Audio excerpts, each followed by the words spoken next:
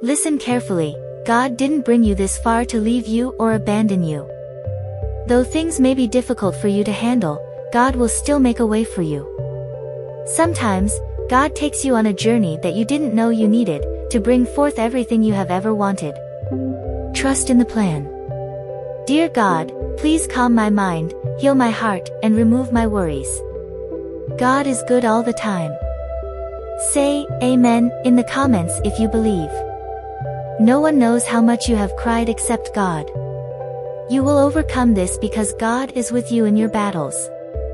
Whatever you are going through, God will not only bring you through it, but He will also make you even stronger. We serve a God who can move mountains in a second. God has assigned you for this, trust Him to guide you through it. God's plan will always be more beautiful than your disappointments. Be patient and give thanks to God, He is always faithful. Type Amen in the comments and subscribe to this channel. May God bless you today. Believe that He has a purpose for your life and trust that He will empower you to overcome all obstacles. Stay strong in your faith, for God is our refuge and strength in difficult times. Remember that He is always present, offering comfort and guidance. As you walk your path, trust that God is opening doors and preparing the way before you. Keep hope alive in your heart, knowing that He is working in your favor, even when circumstances seem adverse. Raise your voice in gratitude and praise. Let your Amen be a testimony of your unwavering faith. Be open to receiving God's blessings and share His goodness with others.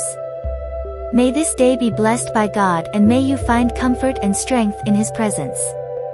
Believe that He is transforming your life in a wonderful way and that His faithfulness is unwavering. Trust in His love and move forward with the certainty that He will always guide your steps. May the peace of God be with you at all times, and may you experience the transformative power of His grace. In all circumstances, remember that God is by your side, bringing hope and working wonders in your life. Reflect on these words of encouragement and let them strengthen your faith. God is faithful, and He is acting in your favor. Trust in Him, for He has a perfect plan for you. Amen.